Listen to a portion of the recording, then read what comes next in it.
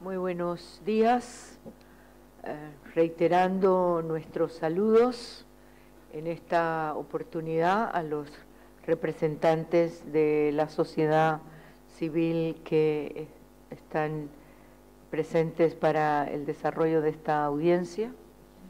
Nuestro saludo al ilustre Estado de Colombia en su representación que agradecemos también de manera especial a todo el público que nos acompaña en el día de hoy para la celebración de esta tercera audiencia en nuestro periodo 165 con una especial mención de agradecimiento por parte de la Comisión al ilustre Estado del Uruguay por permitirle a la Comisión poder tener esta oportunidad de acercamiento con los ciudadanos de este país, pero también de nuestro continente.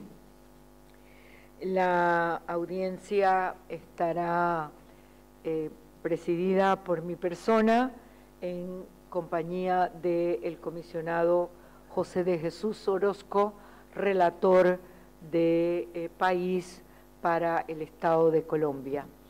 El comisionado Pablo está en una gestión de trabajo de, eh, de reunión de trabajo que no ha concluido y por eso no, no ha llegado todavía.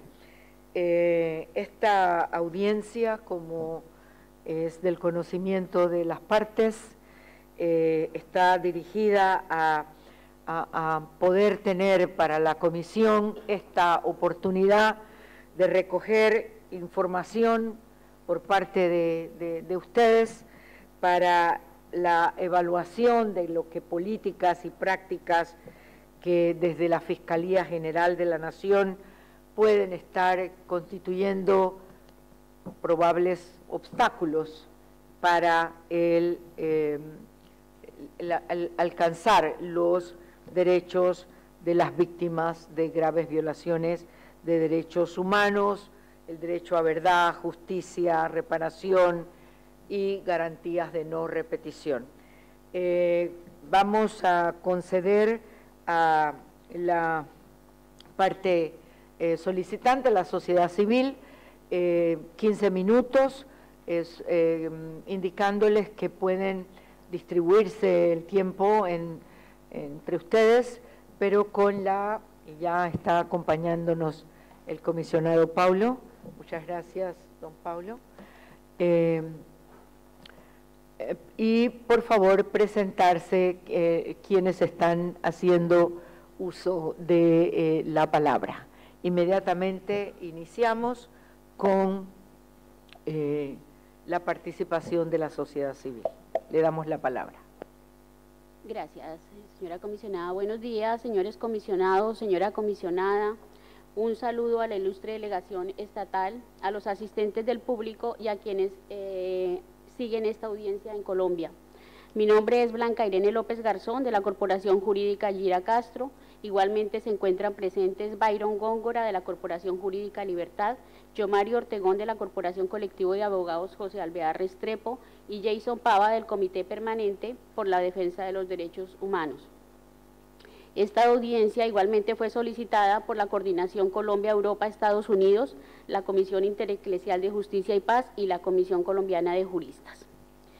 En esta audiencia queremos llamar la atención sobre la falta de acción de la Fiscalía General de la Nación para cumplir con las obligaciones que le asigna el acuerdo de paz, tales como contrarrestar los altos niveles de impunidad, desmontar las estructuras paramilitares e investigar ataques a defensores de derechos humanos y contra quienes han dejado las armas para, eh, para optar por la actividad política.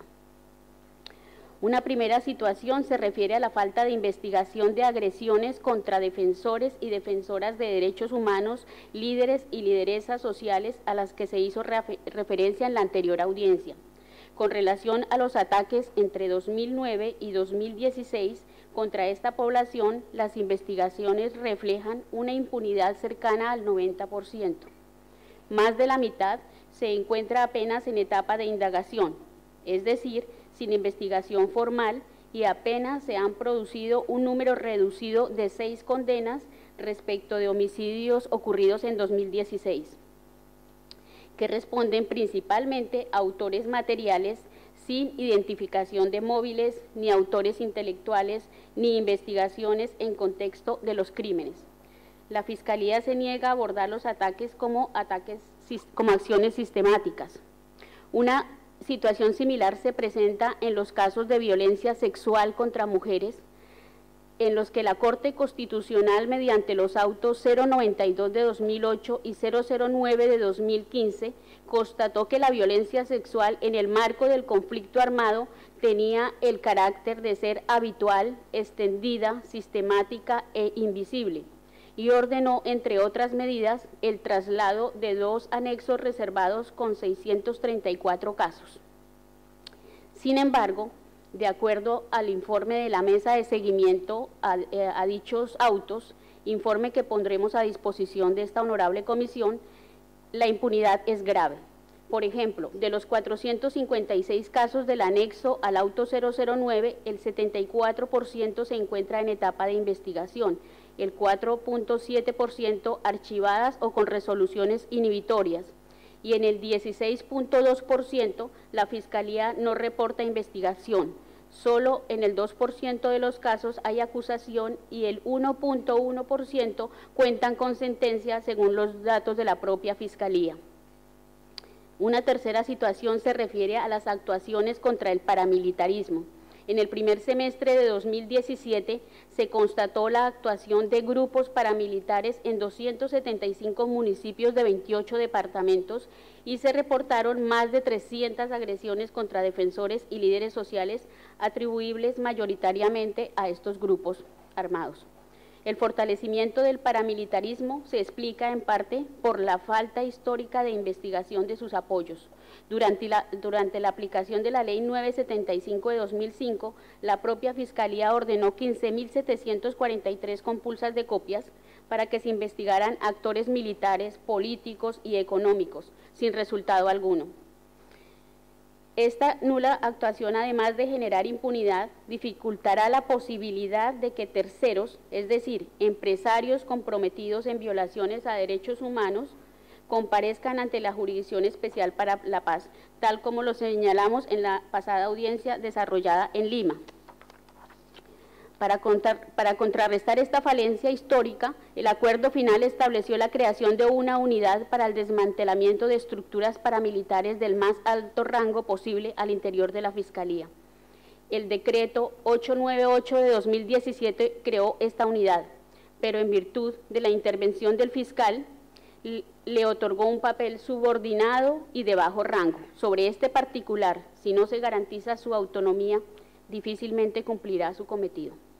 Esta débil voluntad para combatir el paramilitarismo y su sustento constituye el mayor riesgo para la viabilidad del acuerdo de paz con las FARC.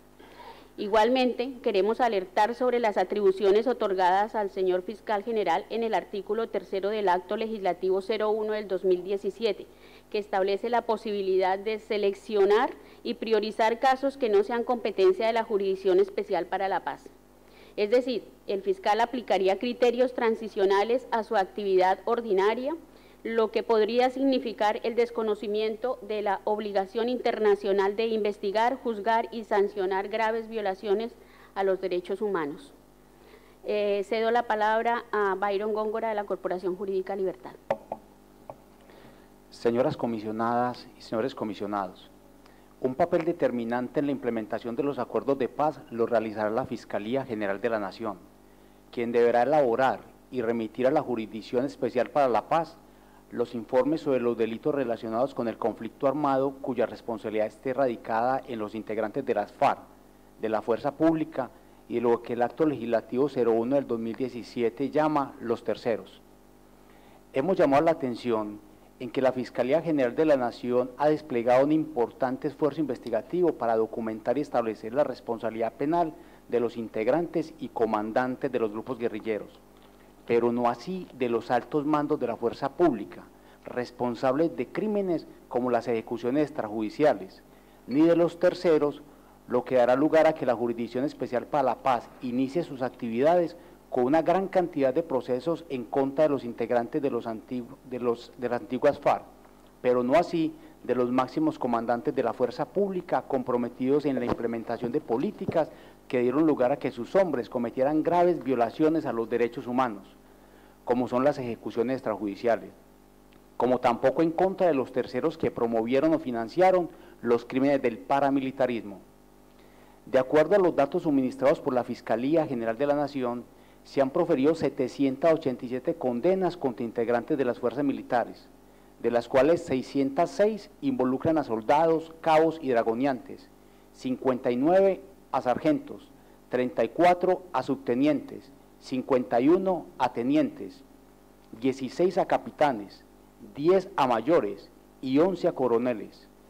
Sin embargo, no existen investigaciones avanzadas ni condenas en contra de generales, comandantes de brigada, de división o comandantes conjuntos, ni contra integrantes de la cúpula de las instituciones de seguridad que operaron entre los años 2002 a 2010, periodo en el cual los falsos positivos se convirtieron en un fenómeno masivo y una práctica sistemática promovida por, la, por las presiones, incentivos y recompensas asociadas a la llamada política de seguridad democrática. En este sentido, las pocas indagaciones preliminares que se adelantan en contra de máximos responsables han sido suspendidas.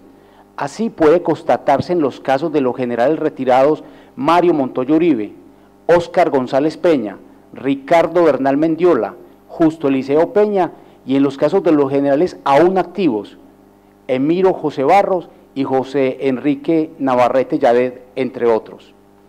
Esta situación ha dado lugar a que no se continúen las labores investigativas para establecer la responsabilidad penal de estos altos mandos militares, pero además que importantes diligencias para vincularlos a la investigación no se hayan realizado.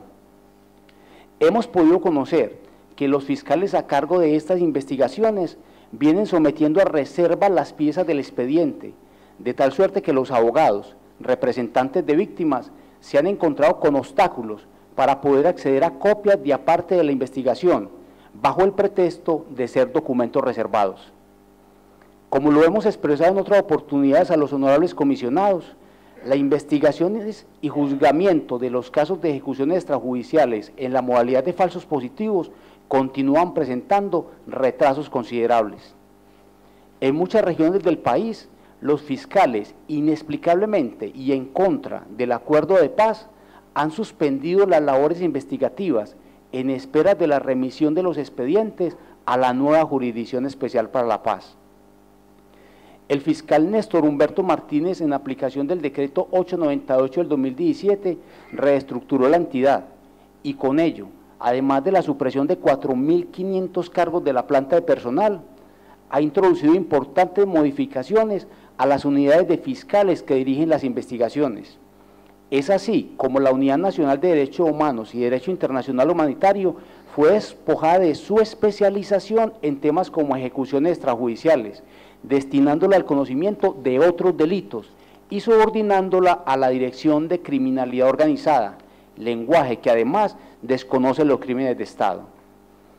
En reciente visita que la fiscal de la Corte Penal Internacional hiciera a nuestro país, manifestó al final del encuentro con las autoridades su preocupación por la falta de juzgamiento de los máximos responsables de las ejecuciones extrajudiciales y por la negativa de las autoridades de entregar la información solicitada para conocer los avances en las investigaciones.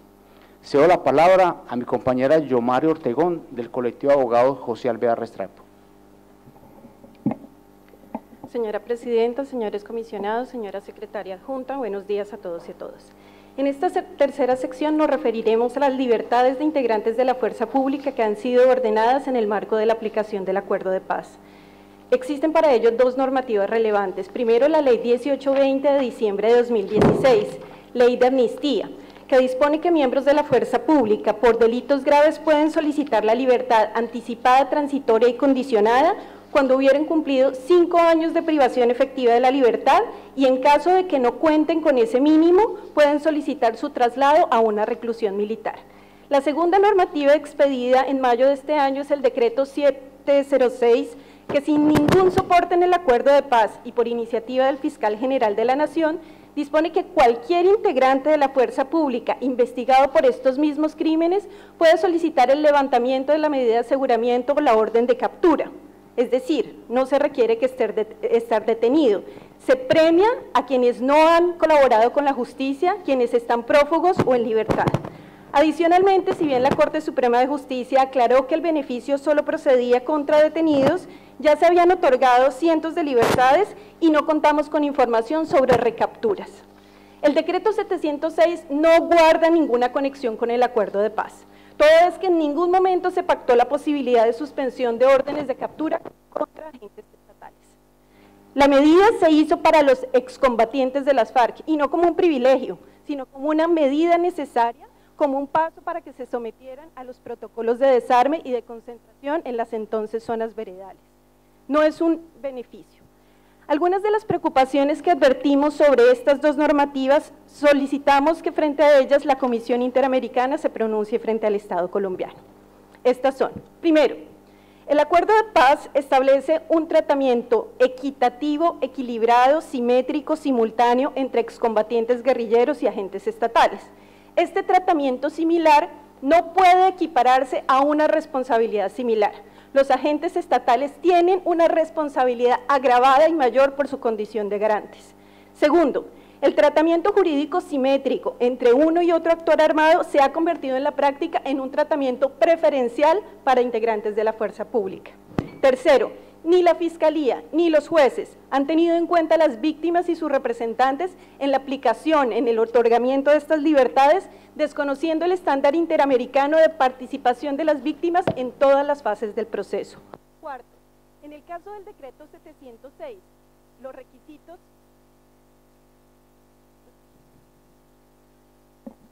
En el caso del decreto 706, los requisitos para la obtención de beneficios son mínimos mientras que frente al decreto 1820 se requieren eh, cinco años de privación de la libertad y suscripción de un acta de compromiso, el decreto 706 no los exige. Solo se requiere una petición de la defensa y la condición de miembro de la fuerza pública. Este decreto es autoridad de la Fiscalía.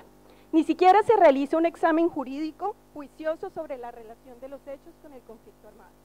Quinto, en ningún caso conocido se han adoptado medidas especiales en favor de las víctimas ni de protección o prohibiciones a los beneficiados acusados de acercarse a ellas. Esto es significativo y problemático en casos de violencia sexual, en los que las víctimas deberían ser por lo menos prevenidas y protegidas frente a esas libertades.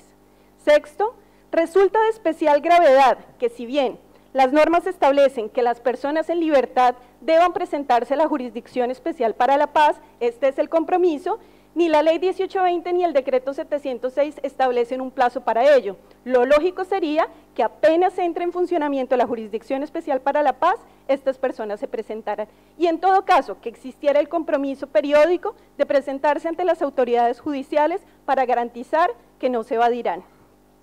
A la fecha, según cifras del Ministerio de Defensa y la Secretaría de la Jurisdicción Especial para la Paz, se han otorgado 669 libertades en virtud de la Ley 1820, 243 beneficios en el marco del decreto 706 y 87 traslados a establecimientos militares.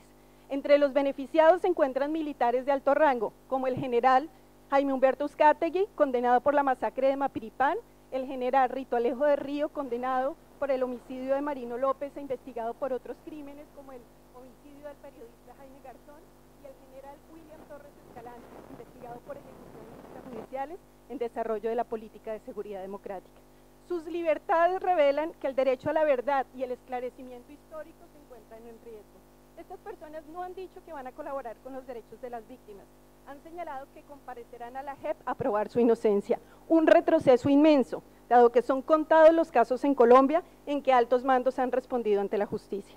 Frente a estas preocupaciones solicitamos a la Comisión Primero, que continúe dando seguimiento a la implementación del punto 5 de del Acuerdo de Paz sobre Derechos de las Víctimas.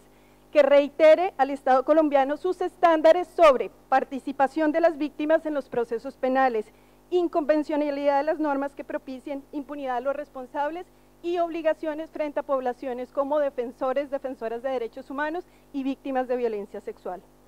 Segundo, llamar la atención sobre la falta de investigación en un plazo razonable de los hechos de violencia sexual contra mujeres y agresiones a defensores y defensoras de derechos humanos. Tercero, adoptar eficazmente las medidas contempladas en el acuerdo de paz para desmantelar el paramilitarismo, como por ejemplo la Unidad Especial de Investigación. Para finalizar, celebramos la recientemente creada Unidad sobre Memoria, Verdad y Justicia al interior de la Comisión, como una contribución positiva para las víctimas del continente americano. Y confiamos en que esta unidad pueda coadyuvar este seguimiento a la implementación del acuerdo de paz en el sentido de asegurar que ninguna de sus normas pueda traducirse en impunidad para los máximos responsables de violaciones a derechos humanos. Muchas gracias. Muchas gracias. Vamos inmediatamente a darle la palabra al ilustre Estado de Colombia. Gracias, gracias señora presidenta, señores comisionados, señores representantes de la sociedad civil, por su conducto igualmente nuestra gratitud con el, este gran Estado de Uruguay por su recibo. Y permítanos comenzar por señalar la importancia que Colombia le atribuye a esta audiencia, al acompañamiento de la Comisión. Eh, Colombia está absolutamente abierta a toda la observación internacional, al Consejo, y ha sido uno de los factores sustanciales para lograr el acuerdo de paz que afortunadamente hemos alcanzado, como lo han sido las organizaciones de la sociedad civil que han participado en este proceso. En primer lugar, el presidente, el proceso de paz y el acuerdo logrado eh, con la insurgencia armada ha señalado la construcción de toda una arquitectura de justicia novedosa, inédita, tendiente precisamente a garantizar eh, el acceso a la justicia, al mismo tiempo a la verdad y hay un eh, punto central de todo el esfuerzo de este proceso y es la atención de las víctimas. Si hay algún proceso en la historia contemporánea orientado a ese objetivo sustancial es el proceso en Colombia y así seguirá planteándose. De manera que esta eh, creación, esta arquitectura de la JEP, de la Justicia Especial para la Paz, está inspirada en ese aspecto. Pero obviamente hay que entender, Presidenta, que la visión de la paz es una paz integral con todos los actores y frente a todos los delitos vinculados directa o indirectamente al conflicto armado. Pensar que se dejare por fuera alguna parte de los actores, pues simplemente conduciría a que no hubiese paz. la política de paz es integral y por eso están incluidos todos los actores, desde luego en primer lugar la guerrilla, pero también los agentes del Estado, cada quien bajo su perspectiva y racionalidad. En segundo lugar, aquí se ha mencionado el paramilitarismo, ha sido un hecho histórico que ha combatido permanentemente el Estado colombiano en sus distintas acciones y así seguirá haciéndose. Eh, pero eh, finalmente señalaríamos que la Fiscalía ha venido adelantando un trabajo eh, absolutamente decidido en la investigación de todos los delitos. Aquí la Fiscalía tendrá la ocasión de señalarlo. desde luego en todos los procesos con las reglas fundamentales, el debido proceso, el, equilibrio de las partes, y finalmente el esclarecimiento de la verdad a través de una investigación independiente e imparcial. Yo pediría eh, confianza en estas instituciones y que la verdad surja, no de lo que queremos que sea, sino fundamentalmente de lo que resulte de las investigaciones judiciales. Eh, finalmente, presidente, en Colombia en este momento toda esta arquitectura y esta acción está siendo objeto de un debate democrático, hay separación de poderes, hay una fiscalía que ha planteado su perspectiva, la ha planteado igualmente el gobierno, la ha planteado igualmente la sociedad, se ha oído a la comunidad internacional y en este momento el Congreso de la República está terminando de definir la ley estatutaria sobre la justicia especial para la paz. Así funcionan las democracias y todo este debate con las distintas perspectivas será resuelto en el Congreso de la República. El Ministerio de Justicia nos eh, iniciará la explicación de este tema. Señores comisionados, miembros de la sociedad civil, peticionarios, el Ministerio de Justicia y del Derecho, a través de la Dirección de Justicia Transicional, se permite hacer las siguientes precisiones. Primero, aclarar que la Fiscalía General de la Nación no se ha atribuido unas competencias motu propio. Para ello, es pertinente hacer una breve síntesis de lo que significó el Acto Legislativo 01 de 2016 específicamente en su artículo 2, naturaleza y alcance. Este acto legislativo se crea en un contexto de justicia transicional y en este sentido las facultades otorgadas al presidente de la República para expedir decretos con fuerza de ley de forma transitoria tienen como único objetivo facilitar y asegurar la implementación y desarrollo normativo del acuerdo final para la paz. Visto en su conjunto, el acto legislativo incorpora con claridad los límites orgánicos, temporales y de competencia sin que exista una sustitución de la legalidad vigente. Ejemplo de ello es que no podrá ser utilizado para expedir leyes estatutarias ni leyes orgánicas, leyes de código o leyes que requieran mayorías absolutas o calificadas. Además, contó con un blindaje constitucional a través de la sentencia 699 de 2016, la cual expone que dicho acto legislativo no configura una sustitución de la Constitución ni sustituye en principio de separación de poderes, manteniendo así la línea doctrinal de la Corte, quien ya se había pronunciado en este mismo sentido en la sentencia 970 del año 2004. De otra parte, experiencias internacionales en materia de expedición de facultades extraordinarias para la implementación de los acuerdos de paz nos ha mostrado que en contextos de transición ante la necesidad de garantizar la integralidad, la eficiencia, la agilidad y la fidelidad de lo acordado, es menester la realización de reformas al andamiaje institucional que permitan asignar transitoriamente facultades extraordinarias. Experiencias como la de Angola, donde no se permitieron estas reformas, una de las consecuencias más notables fue la escasa implementación de lo acordado y un escalamiento de la violencia en dicho país. En caso contrario, como el de Irlanda del Norte, estas reformas institucionales abonaron un camino más estable y duradero para la construcción de la paz. En Colombia, dichas reformas responden a las necesidades expresas en el mismo acuerdo de paz y las nuevas herramientas que adquiere la Fiscalía tienen como único objetivo que ésta pueda contrarrestar la impunidad y atender en forma eficaz y eficiente los nuevos escenarios de justicia transicional. Es por ello que planteamos que contrario a percibirse una sustitución de los poderes o un incumplimiento de lo pactado en los acuerdos, tanto el nuevo andamiaje institucional como las respectivas reformas que se están dando en las instituciones del Estado son precisamente el resultado de la colaboración armónica entre estas y las ramas del poder público con miras a implementar y respetar lo acordado, sin desbordar el ámbito de la constitucionalidad y de la legalidad, y en un contexto de transición necesario para la consolidación de una paz estable y duradera. Cedo el uso de la palabra a la doctora Estala Sánchez de la Fiscalía General de la Nación. Gracias. Señora Presidenta, señores comisionados, señores peticionarios, audiencia. La Fiscalía General, con plena convicción y desarrollo del deber internacional de investigar, adelanta la acción penal contra todos los actores armados con vocación de comparecer a la nueva JEP respecto de los cuales existe un tratamiento equitativo, equilibrado, simultáneo y simétrico, pero diferenciado.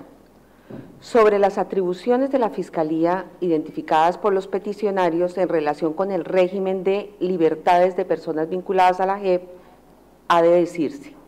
Dicho régimen está regulado efectivamente por la Ley 1820 del 30 de diciembre de 2016 y los decretos 277 y 706 de 2017 para miembros de las FARC y de la Fuerza Pública respectivamente.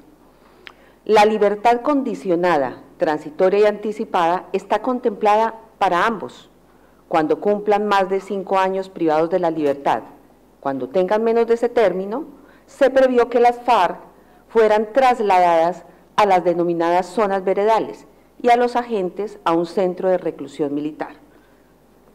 Posteriormente vinieron los decretos, mientras que el decreto 277 contempló en el artículo 22 la suspensión de los procesos cuando se concediera la libertad o el traslado a la zona veredal, el decreto 706 consagró la suspensión de las órdenes de capturas y la revocatoria o sustitución de la medida de aseguramiento. No obstante, la Fiscalía expidió como norma de reenvío la circular 005 de 2017, en la que dejó claro que el deber de investigar no puede ser suspendido. Sobre el contenido de ese artículo 22 que ordena la suspensión de los casos de las FARC cuando se trate de concederle la libertad condicionada, transitoria anticipada o su traslado a una zona veredal, el fiscal general se ha mostrado en desacuerdo, afirmando públicamente que, uno, el acceso a la administración de justicia es un derecho fundamental y no puede suspenderse menos tratándose de graves crímenes. Dos, el acuerdo final contempla que la Fiscalía continuará adelantando las investigaciones hasta tanto se cumpla el término establecido para que la sala presente al Tribunal para la Paz su resolución de conclusiones respecto de los hechos que son de competencia de la JEP. Tres, toda disposición en contrario desconoce principios y derechos constitucionales, así como compromisos asumidos por el Estado colombiano ante la comunidad internacional. Y finalmente, aceptar ello vulneraría los derechos de las víctimas, especialmente de aquellas conductas punibles que son prescriptibles. Por otro lado, la Fiscalía ha tenido la misma resolución para investigar a los miembros de las FARC como agentes del Estado. La proporción de casos con al menos una actuación relevante es de 45.2% para miembros de las FARC-EP y de 71.3% para miembros de la Fuerza Pública.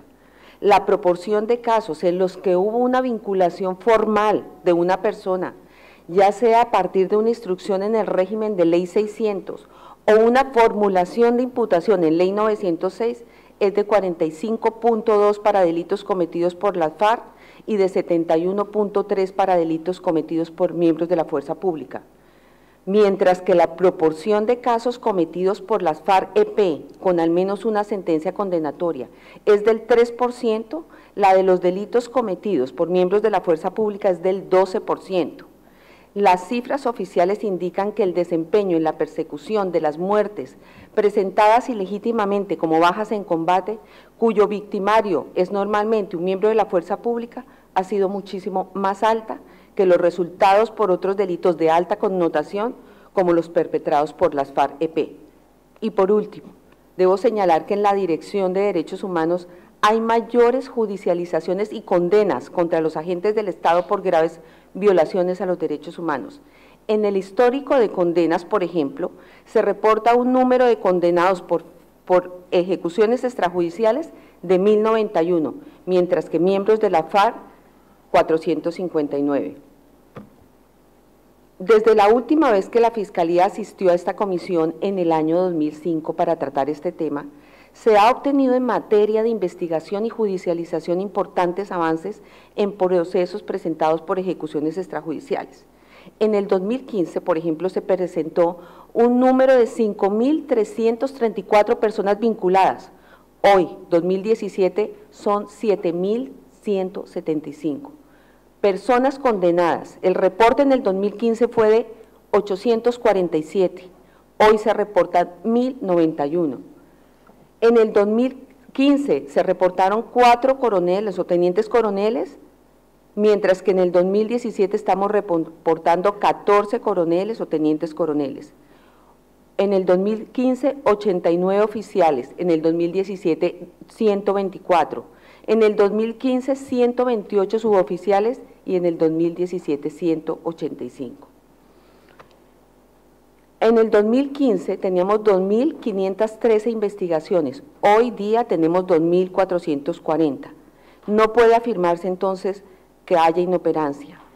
No más entre agosto de 2016 y julio de 2017, los sistemas informativos de la Fiscalía reportan que hay 99.775 registros que afectan a 7.175 vinculados hay 13.906 actuaciones en 2.440 investigaciones, de los cuales puedo resaltar 52 sentencias condenatorias, 69 actas de sentencia anticipada, 80 imputaciones y 134 acusaciones.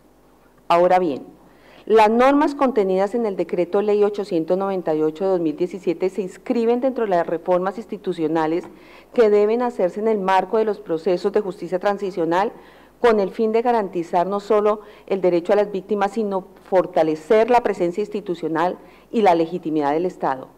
Dichas normas son estrictamente necesarias y urgentes para materializar los compromisos derivados del acuerdo y garantizar la seguridad en el posconflicto. El acuerdo final le impone retos trascendentales a la Fiscalía en el ejercicio de la acción penal. Uno, fortalecer la capacidad investigativa y de judicialización. Dos, adelantar procesos de especialización en la etapa de investigación y acusación para elevar las capacidades institucionales con el fin de combatir la impunidad. Tres, entregar los informes a la JEP sobre los hechos ocurridos con ocasión del conflicto. A través del decreto ley 898 se creó efectivamente la unidad especial de investigación y se modificó parcialmente la estructura de la Fiscalía. Esa unidad se crea para el desmantelamiento de las organizaciones criminales responsables de los homicidios y masacres que atentan contra los derechos humanos, los movimientos sociales o políticos o que amenacen o atenten contra las personas que participan en la implementación de acuerdos y la construcción de la paz. En el área misional, bajo la dirección de la Fiscalía, se ubican tres delegadas que responden al objetivo precisamente de enfrentar la criminalidad existente en un contexto de posconflicto. Primero está la delegada de la criminalidad organizada que se focalizará en las violaciones de los derechos humanos, la lucha contra el crimen organizado, el narcotráfico y la corrupción, entre otros. Está también la delegada contra las finanzas criminales y la delegada para la seguridad ciudadana que se focaliza en los delitos ocurridos en todo el territorio nacional en aras de facilitar la creación de condiciones favorables para la construcción de una paz estable y duradera la reorganización permitió potencializar y fortalecer a la Dirección de Derechos Humanos. Primero porque amplió el espectro de protección al extender la competencia de la Dirección de Derechos Humanos a la persecución de las conductas lesivas a las garantías inherentes al ser humano como son la desaparición y el desplazamiento, los derechos al medio ambiente y los recursos naturales, los derechos políticos y a la propiedad intelectual le asignó más de 400 funcionarios de policía judicial que ahora dependen directamente de la dirección y la adscribió a la delegada contra la criminalidad organizada. Esa adscripción demuestra que las ejecuciones extrajudiciales son entendidos como fenómenos complejos que deben ser abordados a profundidad y con especialidad. Gracias. Muchísimas gracias. Vamos a continuar dándole la palabra, señor relator. ¿Sí? Muy bien. Gracias, Presidenta. Sí, también expresar mi agradecimiento a las dignas representaciones de las organizaciones solicitantes y del ilustre Estado de Colombia por su participación en esta audiencia que es de especial importancia para la eh, Comisión Interamericana y sus tareas de seguimiento de, los acuerdos de paz.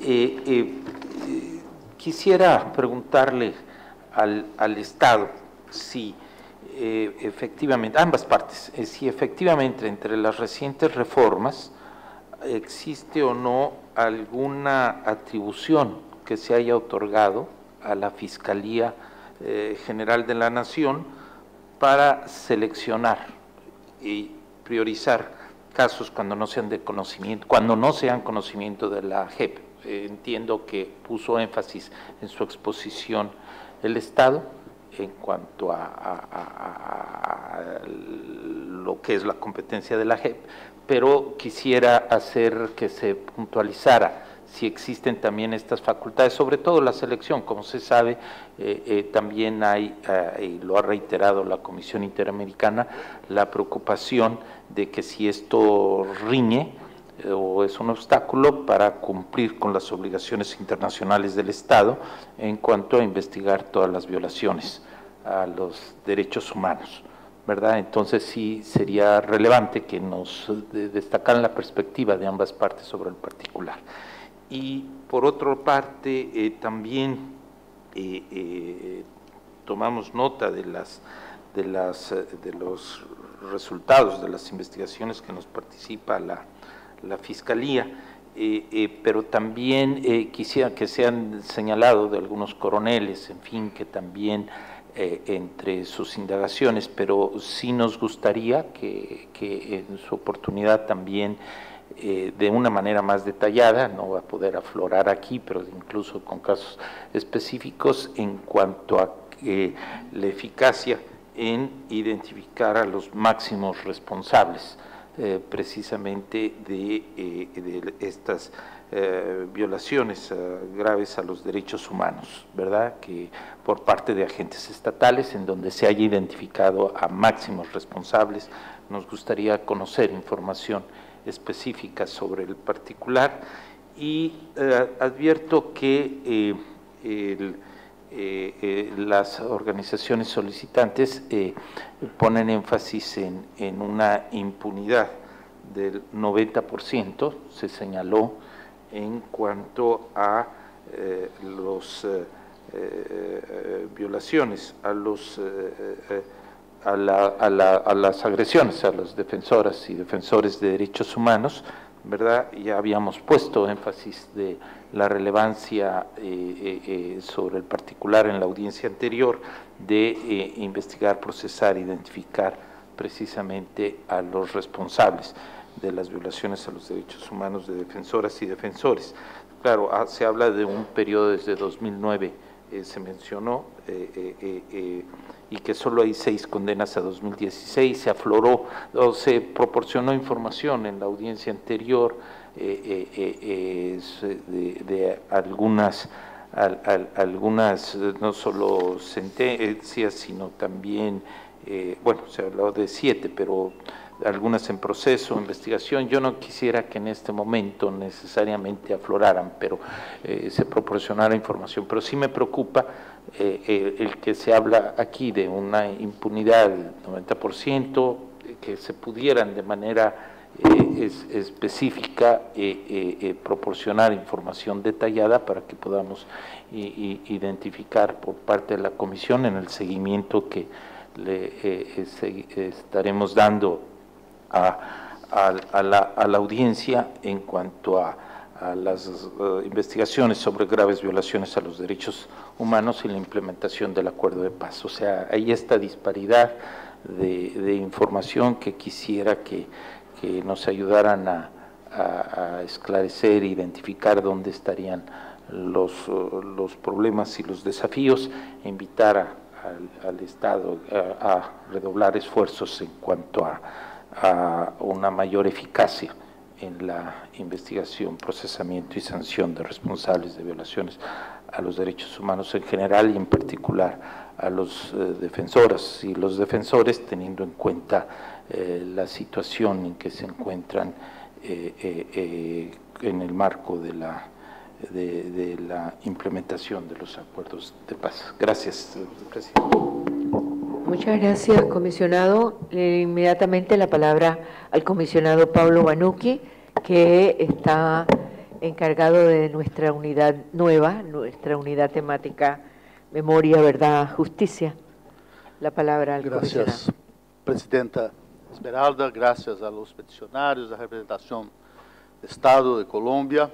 Y yo pienso que las preguntas más importantes, pertinentes, ya fueron hechas por el comisionado Orozco, pero eh, me permito añadir algunas reflexiones eh, mas uh, para enfatizar a importância dessa audiência, exatamente por el hecho de que, como conoce o embaixador Alejandro Gonçalves, uh, eu sou um comissionado que desde o primeiro dia me posiciono como um defensor entusiasta de los acordos de paz e também desejo que siga adelante, incluso com ELN, uh, que me recuerdo de mi juventud quando escuché hablar por primeira vez a los 16 anos de um cura guerrillero, Camilo Torres.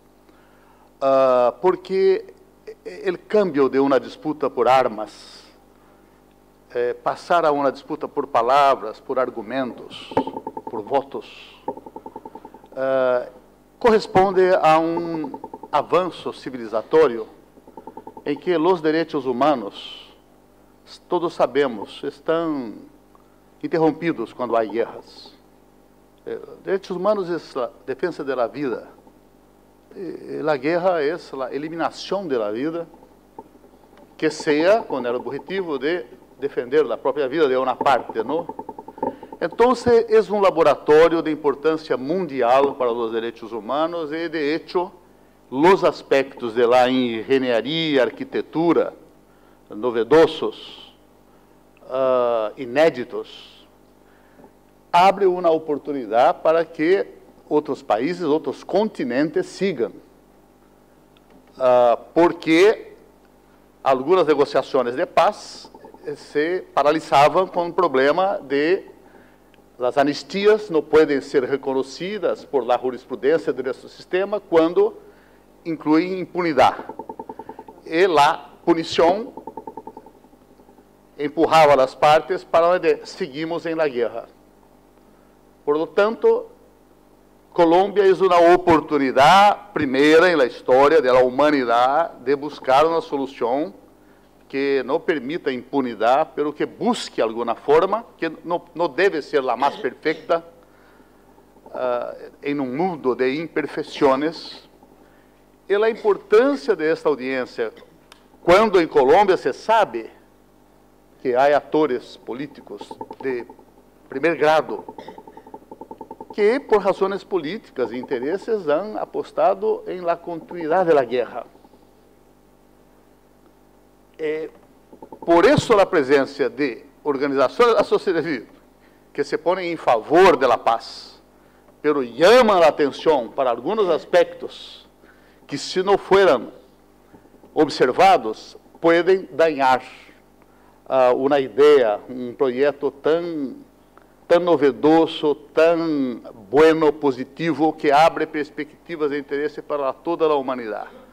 A ideia de seguir sempre aunque pueda ser um pouco desconfortável escuchar críticas de que alguns de los aspectos não estão seguindo as primeiras regras, é a oportunidade democrática de perfeccionar para que eh, os direitos humanos, o sistema interamericano, nossas Américas, o planeta, não, não pueda perder esta oportunidade muito especial para o futuro de Colômbia, de la região, de toda a humanidade. É só essa palavra que me gostaria de apresentar. Muchas gracias, comisionado Pablo. Me uno a esa reflexión y eh, para precisar eh, en este aspecto que marcó el Estado de Colombia con respecto a eh, la necesidad de la nueva arquitectura que demanda una justicia en un proceso de, paz. Em, está para aprobarse, tengo eh, entendido, eh, esta ley estatutaria. Mi pregunta sería, eh, ¿ha tenido oportunidad la sociedad civil que están en este acompañamiento del proceso de paz en, tener eh, acceso a, esa, a, ese contenido de, la, de, esta propuesta de, la reforma de la justicia que, comparto, eh, sí, efectivamente, la, la especialidad de lo que este proceso implica también demanda, sin duda, una, eh, una justicia especial y, tener esa, esa base eh, que garantice precisamente eh, no, no solo el proceso de paz, sino también la protección de todos los derechos que en, el mismo proceso se demanden. Eh, me, gustaría saber si, si, han participado en, este, en esta organización de la transformación. Y un, punto en particular que, me llamó la atención, eh, la sociedad civil habla de, sí, la calificación de un tratamiento equitativo, simétrico, etcétera, eh, pero calificaba la sociedad civil que se ha convertido en un tratamiento preferencial, en tanto que la Fiscalía ha hecho una explicación que eh, en este proceso eh, diferenciado. Me gustaría tener para, para recoger en, la, en esta audiencia eh, esta, estas dos visiones, ¿no?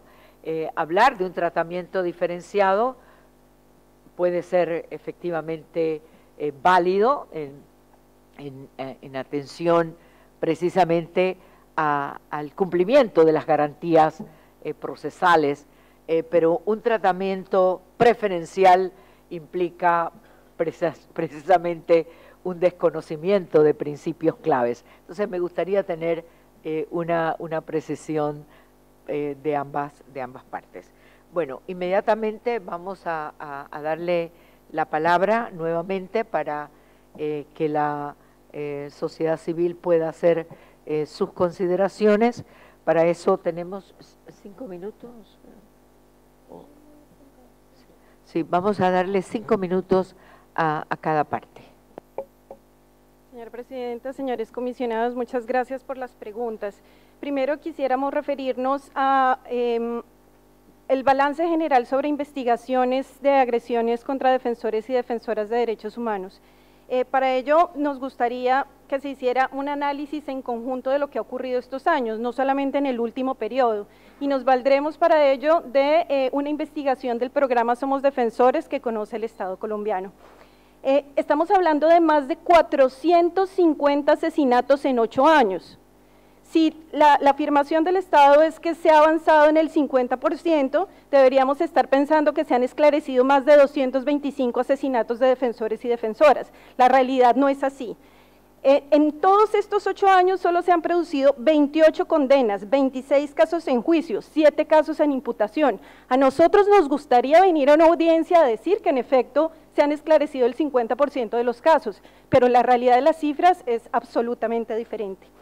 Si miramos, eh, y también tomando en cuenta la investigación de Somos Defensores, cómo califican las víctimas y los familiares la actuación de la Fiscalía, de una encuesta que se realizó, el 67% de los encuestados la califican como deficiente, deplorable, por falta de atención, por falta de protección, por falta de información, por falta de acceso, no solamente a nivel de Bogotá, sino a nivel nacional. Entonces, frente a la pregunta de qué tipo de acciones deberían desarrollarse, eh, una de las recomendaciones que se hace en este informe es que la Fiscalía debería tener una política, no diferentes estrategias. En esta comisión hemos visto cómo cada año la, Fiscalía viene presentando estrategias diferentes, pero no una sola política. Y esa política no debe ser solamente de la Fiscalía, sino también del, del Ministerio de Justicia, quien no cuenta tampoco con una política criminal coherente de persecución eh, a estas agresiones. Quisiéramos también hacer referencia a la situación de mujeres. Em, de estos casos que hemos señalado, el 91% de los casos eh, de asesinatos de defensoras se encuentran en situación de impunidad. Y es una cifra altísima los casos archivados, que nos gustaría que cuando revisaran las cifras miraran que la cifra de, casos archivados es muchísimo más alta, 10 eh, veces más alta que las decisiones eh, efectivas de, imputación y sentencias. Finalmente, frente a las preguntas que hace la, comisionada, la señora presidenta, sobre la participación de las víctimas, a nosotros nos sorprendió de manera muy negativa que el proyecto de ley estatutaria de JEP, al llegar al Congreso de la República, no tuviera el elemento de participación de las víctimas. No lo tenía, ni siquiera. La línea que estaba establecida en el acto legislativo que decía que las víctimas podrían participar como intervinientes de acuerdo con los estándares del derecho internacional. Eso hubiera sido importante. Ahora en el Congreso se ha ganado que se incluya eso gracias a la voluntad de algunos congresistas y esperamos que en plenaria se apruebe, pero es lamentable que no haya ocurrido.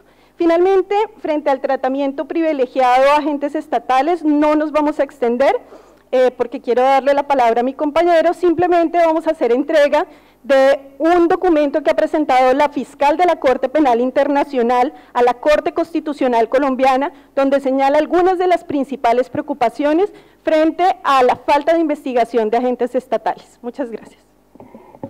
Eh, muchas gracias. Señores comisionados, en lo que tiene que ver con la impunidad de, en, todo el tema de ejecuciones extrajudiciales, hemos señalado de manera reiterativa de que en nuestro país se presenta una mm, impunidad estructural en la investigación de los agentes del Estado. Con esto no queremos desconocer que efectivamente la Fiscalía ha adelantado investigaciones en contra de militares por el tema de ejecuciones extrajudiciales, pero hemos puesto el punto en lo que tiene que ver con los máximos responsables. un caso donde nosotros podemos efectivamente observar cómo, cómo no avanzan las, las imputaciones, investigaciones y juzgamiento en contra de altos mandos es precisamente el caso del general retirado Mario Montoya Uribe. En el año 2015, la Fiscalía General de la Nación, con un compromiso que había hecho el fiscal general de, ese momento, de vincularlo a la investigación que le adelantaba precisamente por su responsabilidad en el tema de máximo de, ejecuciones extrajudiciales, tomó la decisión de convocarlo a diligencia de formulación de imputación. Esa diligencia, pocos días antes de llevarse a cabo, fue cancelada y reprogramada, unos meses después y posteriormente cuando se dio la fecha para realizar esa diligencia, nuevamente fue aplazada y hasta el día de hoy no se ha realizado. Es decir, que en lo que se trata del general Mario Montoyo Uribe, que es un caso que ejemplifica la forma como la Fiscalía General de la Nación no ha querido, no ha tenido la voluntad política de vincular a los generales responsables de las ejecuciones extrajudiciales, este es un caso que, que ejemplifica muy bien lo que hemos querido demostrar. Una gran preocupación que tenemos es precisamente porque en, la, en el desarrollo que se hace y incluso en una modificación que el gobierno nacional introdujo a última hora en los acuerdos de paz, se estableció unos estándares y unas exigencias para que en la JEP los máximos responsables pudieran ser eh, llamados a responder, que precisamente hace imposible que incluso en la JEP estos máximos responsables puedan responder. Esa es una gran preocupación que tenemos y de allí que la fiscal de la Corte Penal Internacional, como lo hemos dicho hace un momento, en la visita que hiciera recientemente el país, llamara y pusiera el punto en su preocupación, porque estos generales y estas investigaciones no avanzan. Muchas gracias. Muchas gracias. Inmediatamente le damos la palabra eh, Estado. Gracias, señora Presidenta. Eh, quisiéramos, eh, en primer lugar, destacar la importancia del apoyo y la visión de la Comisión Interamericana de Derechos Humanos sobre el proceso de paz en Colombia. Queremos exaltarla y queremos agradecerla. Queremos reiterarles nuestro deseo vehemente para que continúe, porque estos procesos históricos en beneficio del continente y de la civilización requieren precisamente la compañía de instituciones tan importantes como esta. Y no hay duda, como aquí se ha señalado, que la mejor manera para prevenir la violación de derechos humanos es un acuerdo y una solución política. Eh, esta solución política ha permitido, como lo ha señalado el comisionado Banuki, que la vida prevalezca sobre la muerte, sobre el horror, y de eso se trata a través de unos mecanismos jurídico-políticos y de acuerdos que garanticen el equilibrio entre justicia y paz. Eh, desde luego, eh, hay muchos elementos que requieren ser dilucidados. En primer lugar, señora Presidenta, cuando se habla aquí de 97% de impunidad, nosotros, con todo respeto, haríamos un llamado a que estas apreciaciones se deduzcan de las evidencias, de los procesos que se están adelantando. Aquí la Fiscalía General ha presentado unos datos muy precisos y sobre eso llamaríamos en el debate abiertos a todo el escrutinio que se requiera. Pero en la pasada audiencia señalábamos cómo un 50% de los casos han sido claramente eh, establecidos ya en sus distintas responsabilidades, de manera que la proporción entre los análisis no corresponde a ese análisis científico que nosotros reclamamos. Pero obviamente compartimos que hay que hacer el mayor esfuerzo para seguir mejorando la eficacia en este tema. Colombia tiene uno de los sistemas de fiscalía y de investigación más avanzados en el continente. Yo quisiera ver en las otras democracias americanas si se dan esos índices eh, dentro de la investigación de la complejidad de un país que tiene insurgencia, narcotráfico, conflictos de minería, eh, en lo más profundo de nuestra eh, selva y, y nación si se han logrado avances como lo que hemos logrado en esta materia, pero desde luego falta mucho que adelantar en esta tarea. Señor presidente, además eh, nos referimos al tema del enjuiciamiento de agentes del Estado. La justicia transicional abarca a los agentes del Estado y nuestra aproximación al tema, ya la Fiscalía ha dado las cifras aquí frente a oficiales, suboficiales, coroneles, que los expedientes y los resultados arrojen la verdad. La justicia no puede ser aquello que se quiere, que sea condenado una u otra persona. Hay que demostrar la responsabilidad, hay presunción de, inocencia, hay debido proceso. Y si la justicia y los procesos señalan la responsabilidad de uno u otro, deberá caer esa responsabilidad, pero no puede caer sobre personas a las cuales no se ha demostrado o desvirtuado su inocencia o proceder. De manera que bajo esa perspectiva y siempre bajo el respeto absoluto de los derechos de las víctimas, cuya participación siempre será eh, avalada y si hay que mejorarla, se intensificará en esa materia, la Fiscalía nos dará una eh, ilustración sobre el particular. Gracias, señor embajador. Bueno, en relación con su pregunta, señora comisionada, respecto a la, una posible priorización en los casos eh, que se van a enviar a la JEP, pues debo decir que el acuerdo final del acuerdo surgen dos mandatos específicos y contundentes para la Fiscalía, que es la realización de unos inventarios donde se va a inventariar todos los hechos que están relacionados o que fueron presuntamente cometidos por agentes del Estado y exmiembros de la FARC relacionados directa o indirectamente con el conflicto armado. Entonces no hay una priorización, sino un, un inventario general y, uno, y 25 informes que se le rendirán a la JEP. En relación con su planteamiento, señora Presidenta, el acuerdo de creación de la JEP justamente habla, al hablar del componente de justicia, dice expresamente que a los agentes del Estado se le aplicará ese componente de manera simétrica, equitativa, igualitaria, pero diferenciada porque precisamente los hechos que los vinculan son de diferente naturaleza.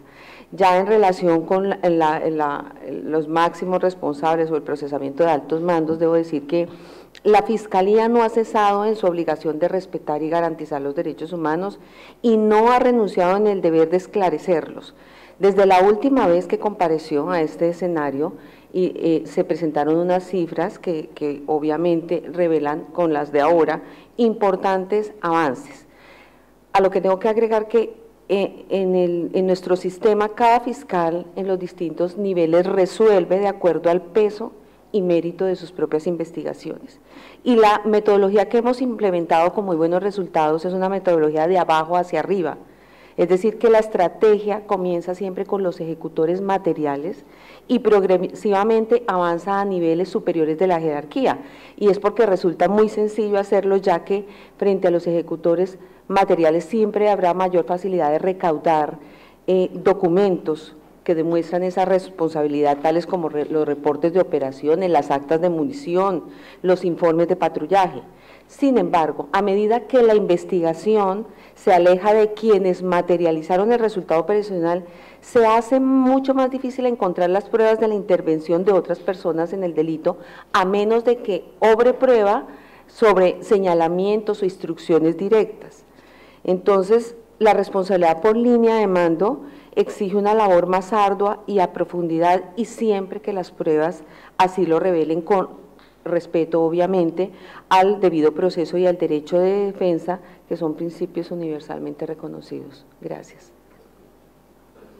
Eh, por favor, la doctora Digna Isabel. Solo para hacer, solo para hacer una, una, precisión, efectivamente en el primer debate de las cámaras conjuntas Senado y Cámara el proyecto de ley estatutaria para la Jurisdicción Especial para la Paz recibió a través de los ponentes de las respectivas cámaras todas las proposiciones referidas a la participación de las víctimas, entre otros aspectos, lo cual fue considerado y acogido de tal manera que en primer debate se pasó como eh, que quedarán consideradas como intervinientes especiales. Muchísimas gracias. Eh, antes de concluir, mi reconocimiento a los aportes que la sociedad civil hoy le entrega a la Comisión, así como eh, la participación del Estado en búsqueda precisamente de eh, consolidar desde nuestro aporte a este, nuestros aportes al proceso de paz, con el que también estamos personal e institucionalmente comprometidos.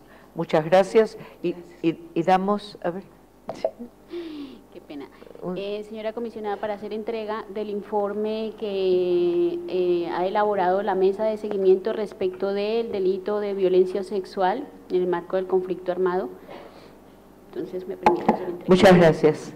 Eh, muy bien, señor embajador. Gracias. Presidenta, para señalar, aquí se ha mencionado de la, la carta, la comunicación de la fiscal de la Corte Penal Internacional. Sí, en efecto, porque la misma Corte Constitucional de Colombia le pidió a la fiscal que, se, eh, que expresara su opinión junto a las eh, distintas instituciones e intervinientes. A eso obedece eh, precisamente la respuesta, la opinión, pero permítame agregarle además que todo el punto de la responsabilidad de mando está previsto en los acuerdos de La Habana. Segundo, está igualmente regulado en la ley estatutaria y allí se reflejan las eh, eh, perspectivas claras de la política legislativa de un Estado soberano como el colombiano, donde fija la manera como entendemos esa responsabilidad de mando. Será objeto de deliberación en el Congreso de la República, será objeto igualmente de pronunciamiento de la Corte Constitucional y tenemos la mayor eh, vocación de que se satisfagan desde luego a nuestra manera de ver todos los estándares del equilibrio entre la justicia y la paz. Bueno, muchísimas gracias y damos por concluida esta audiencia.